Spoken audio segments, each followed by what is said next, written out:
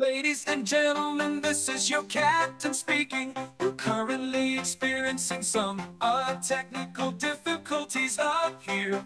But don't worry, we've decided to throw in free coffee with every potential landing.